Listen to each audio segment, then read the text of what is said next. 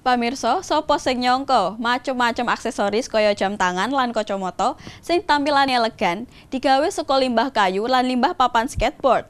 Aksesoris unik lan kreatif iki digawe karo salah siji pengrajin ning kota Semarang.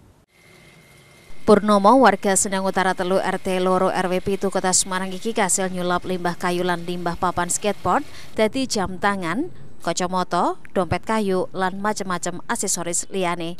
Awale Purnomo tertarik gawe kacamata saka limbah papan skateboard sawise ndelok tayangan TV, nanging sawise nyoba lan berhasil, dheweke malah penasaran lan pengen terus gawe aksesoris jenis liyane.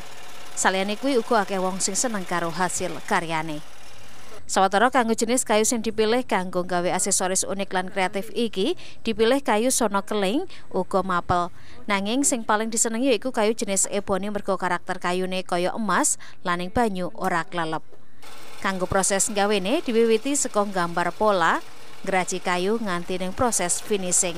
Lan waktu sing diperlokke kanggo gawe aksesoris yaiku antarane rong dino nganti telung dinonan.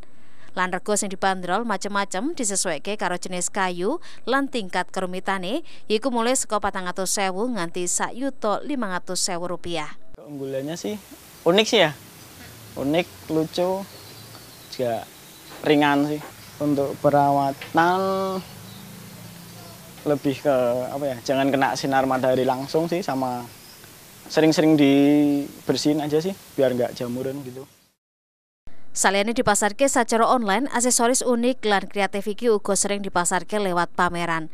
Saliyane kuwi pemasaran aksesoris iki uga wis nganti mancanegara kaya Jepang. Reda Pulpi, Jinawirana, Kutane Dewe, Semarang.